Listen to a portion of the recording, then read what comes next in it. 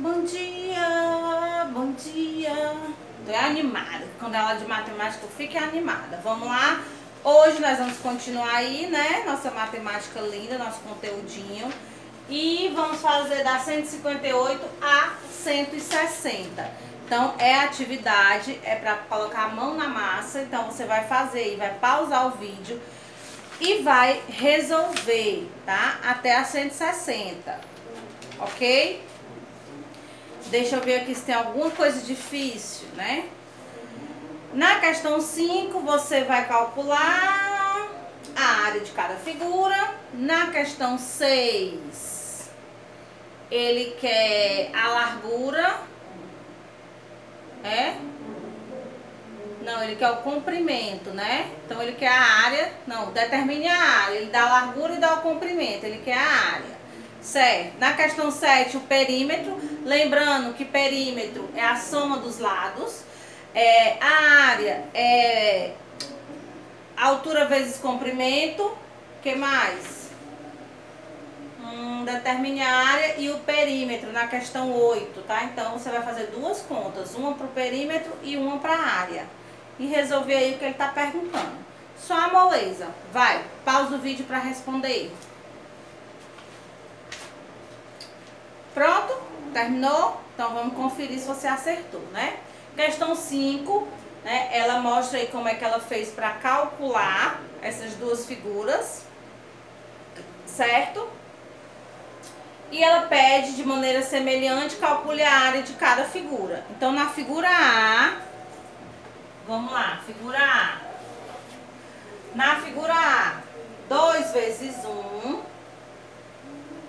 mais 3 vezes 3. Era assim que você ia colocar, tá? 2 vezes 1. Um,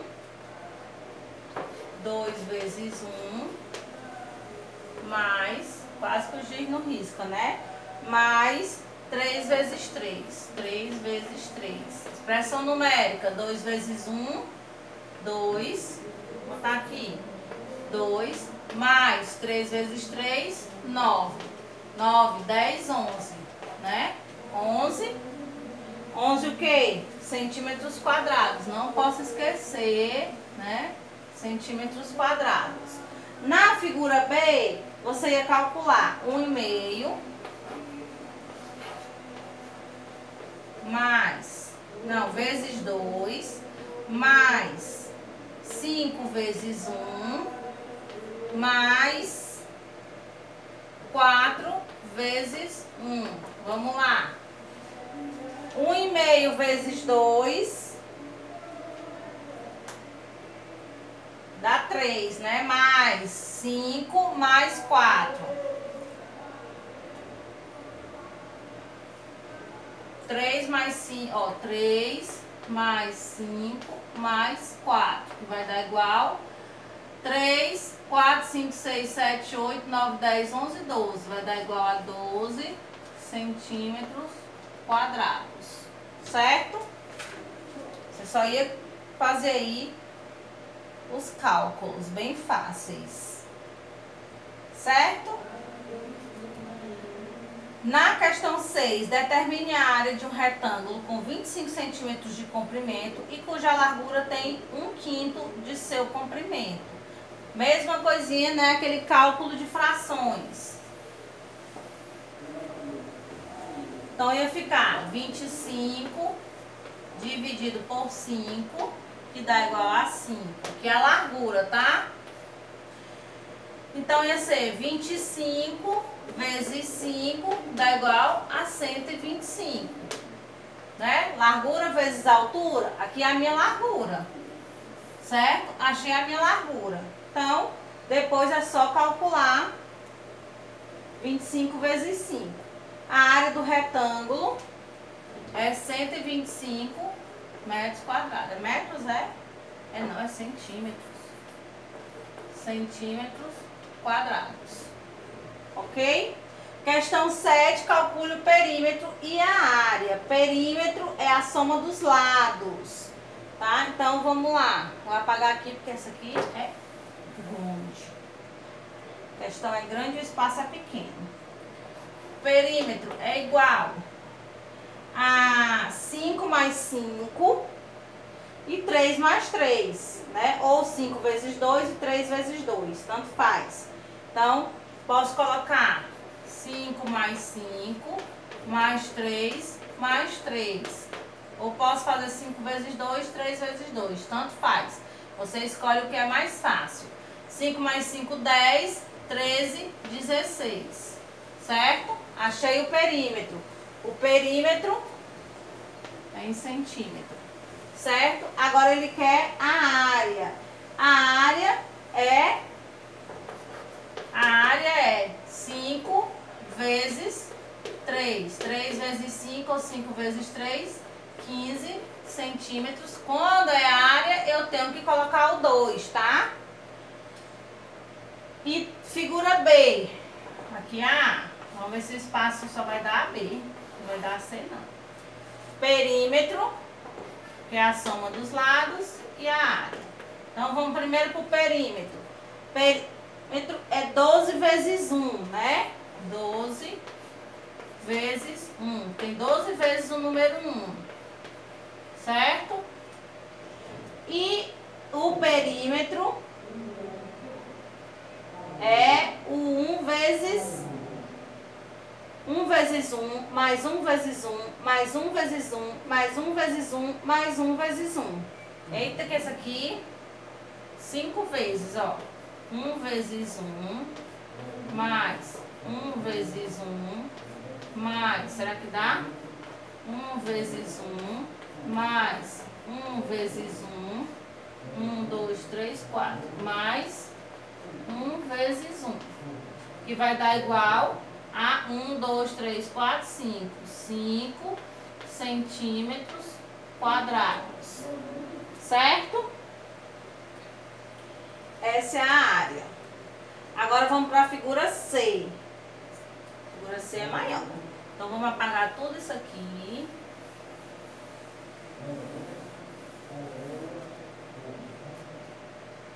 Perímetro é igual 6 mais 6 mais.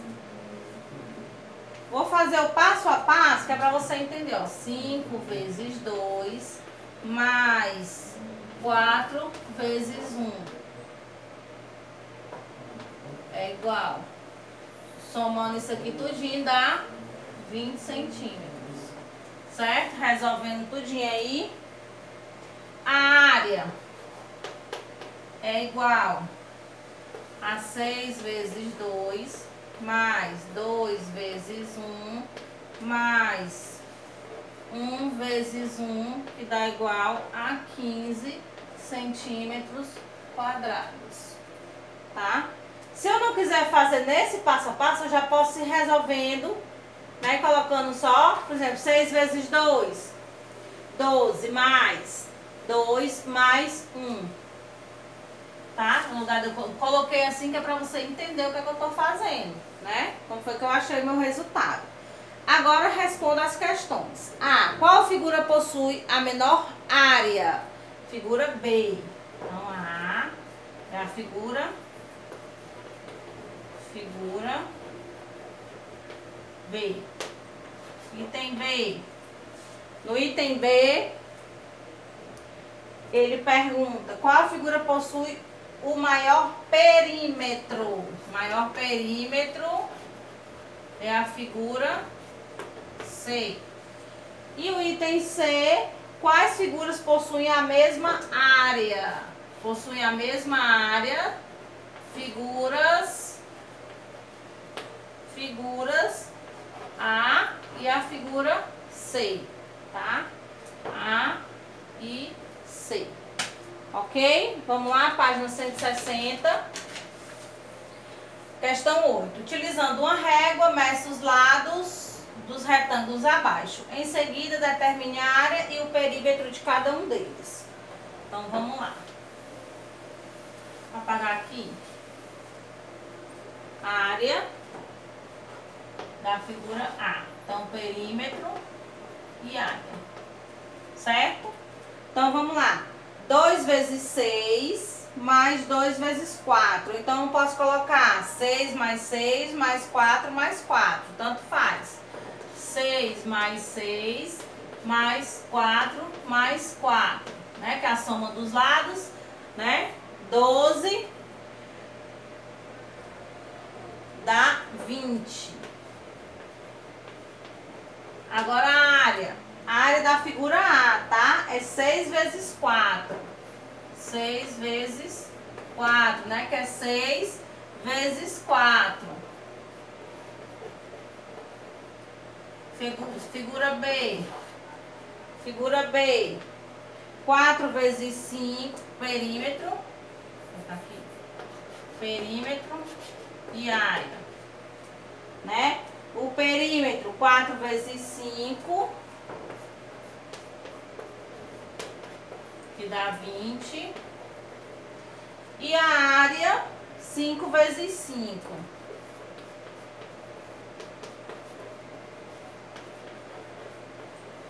Certo? Aí. A figura C Lembrando que a figura B é um quadrado, tá? Por isso que é assim, porque todos os lados não são iguais, então é 4 vezes 5. São quatro lados e cada lado tem 5 centímetros, tá? Aqui, né, um lado, né, a, né, a altura vezes o comprimento. Então, se são iguais, a altura é 5 e o comprimento é 5. Por isso que essa daqui é diferente dessa. Aqui é um retângulo e aqui é um quadrado. Na figura C também é um retângulo. Então vamos lá. Figura C. Perímetro e área. E aqui é a figura D. Perímetro e área. Né? Colocar logo assim que aí facilita. É, no item C, 2 vezes 4 mais 2 vezes 6. Ou 4 mais 4, mais 6 mais 6, que vai dar igual a 20 centímetros. A área, 6 vezes 4. 6 vezes 4 centímetros quadrados. Figura D, 2 vezes 8 mais 2 vezes 3, que é igual a... Ixi, do 2 não. 8 mais 8, mais 3 mais 3.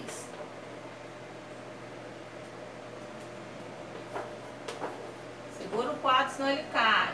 Pronto. Vãozinha torto. A área, né? A área é 8 vezes 3, que dá igual a 24 centímetros quadrados ok? Então, resolvi aí, achei perímetro e a área das quatro figuras. Agora eu vou responder. Quais dos retângulos têm áreas iguais? Áreas iguais A, C e D. Perímetros iguais, retângulos A, B e C. Certo? Ó, Quais dos retângulos têm áreas iguais? A, C e D. Perímetros iguais? A, B, C. Áreas e perímetros iguais? A e C. Qual é a relação da medida do perímetro dos retângulos que têm áreas da mesma medida? Os perímetros são diferentes, tá? Então, as áreas são iguais. As áreas são iguais, mas os perímetros são diferentes. Ó, o perímetro de duas são iguais, mas o da outra é diferente. Qual é a relação das áreas dos retângulos que têm perímetros iguais? As áreas são diferentes. Certo? Deu para entender?